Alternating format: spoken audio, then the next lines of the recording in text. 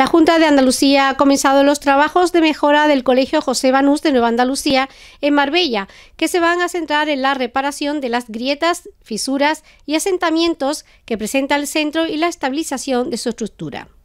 La delegada territorial de Educación, Patricia Alba, acompañado por José Bernal y Manolo García, han podido comprobar el inicio de las obras que se van a ejecutar a lo largo de los próximos meses. Buenos días, muchísimas gracias por acompañarnos en esta visita que hemos querido hacer hoy como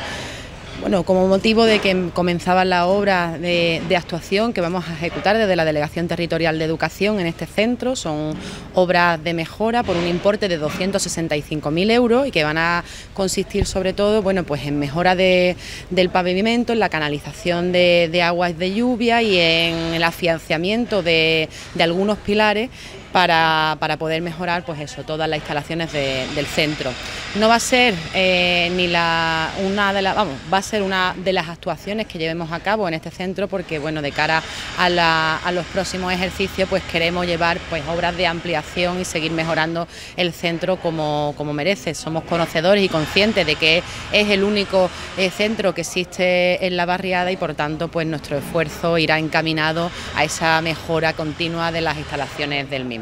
Bueno, el plazo de ejecución son aproximadamente de tres meses, pero estamos seguros y convencidos que, la empresa pues acelerará todo lo que pueda para que las obras pues estén, entren en perfectas eh, condiciones para, para, que los niños y niñas puedan disfrutar el próximo día 11 de septiembre cuando comiencen las clases. Bueno, para nosotros del Partido Socialista una satisfacción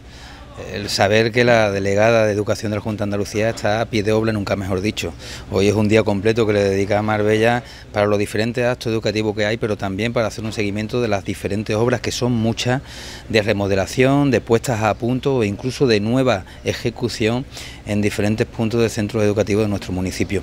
Por lo tanto, no solamente esta obra de José Banú, la parte que ha dicho la delegada territorial, más la parte que se suma que teníamos previsto en el gobierno en el que yo estaba de alcalde para la modernización de este centro, la adaptación, sino el compromiso futuro de ampliación del centro educativo. Pero hoy traía muchas más noticias la delegada. Hablábamos de ese centro educativo de secundaria que va, lo vamos a tener además en muy poco tiempo en la zona de la Chapa, ya con su proyecto presupuestado más de 6 millones de euros. Hablamos del centro educativo tan necesario en la parte sur de San Pedro Alcántara. La Junta de Andalucía ha hecho todos los procedimientos, solamente queda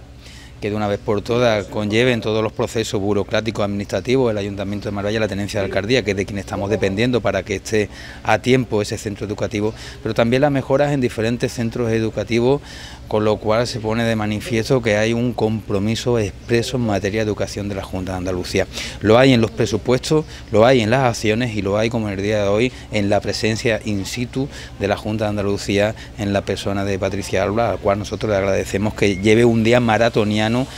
paseando por todo Marbella, San Pedro, la Campana y la Chapa para ver cómo va esa apuesta decidida por la educación en nuestro municipio.